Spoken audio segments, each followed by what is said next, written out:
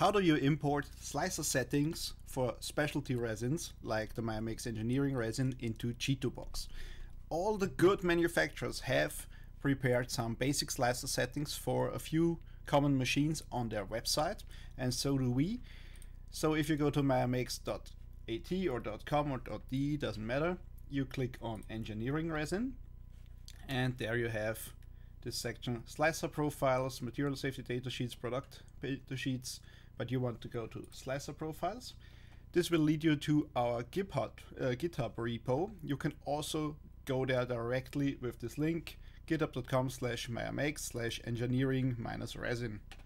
And here we have two folders, Chitubox profiles and Lychee Slicer profiles. I click on download zip, then I have all the profiles and all the stuff that I would need.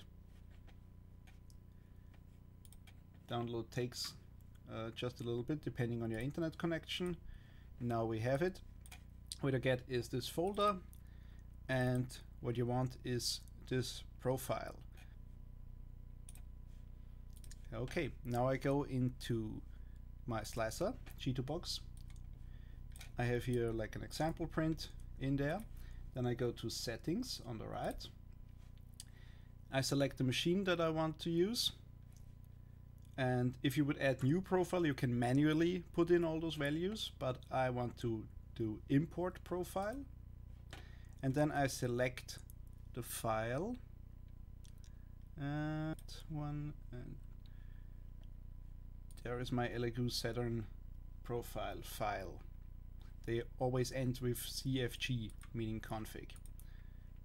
I import that, and this is my new file. And if I now close that, and I slice with it, then I have the correct settings set in there. Yep, looks like this worked. Thank you and enjoy printing awesome creations with your new resin. See ya!